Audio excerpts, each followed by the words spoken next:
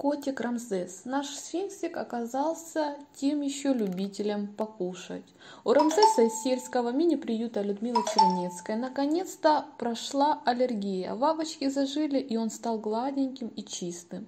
Но, как всегда, есть неприятные и нюансы, конечно же.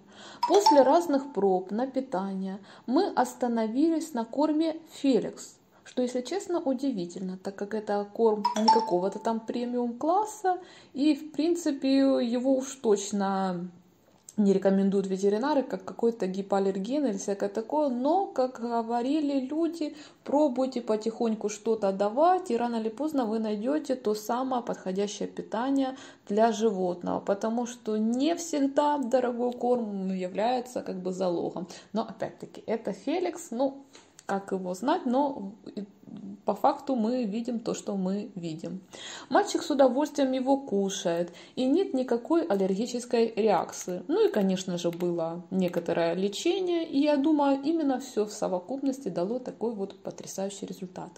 Рамзик э, оказался, на удивление, мальчиком, который любит покушать. Это, конечно, хорошо, но съедает в день он минимум 5 этих пакетиков патчей.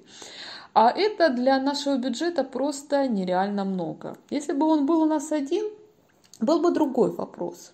Но у нас огромное количество животных, и позволить себе кормить только его Феликсом в таком количестве у нас просто нет возможности.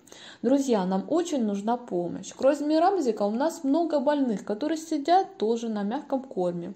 Бедолаги и с большими уговорами кушают, поэтому хозяйка старается хотя бы по чуть-чуть делить порции. Но поскольку аллергия прошла, нам теперь придется пробовать какие-то другие дешевые варианты питания для Рамзеса.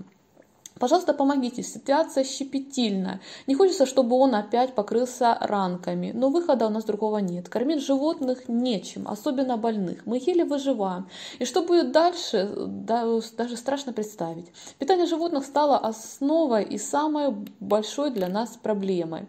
Пришлось сократить закупку продуктов, покупаем самое необходимое, и практически все животные сели на диету, хотя на зиму должно быть все абсолютно наоборот. Помогите нам, пожалуйста.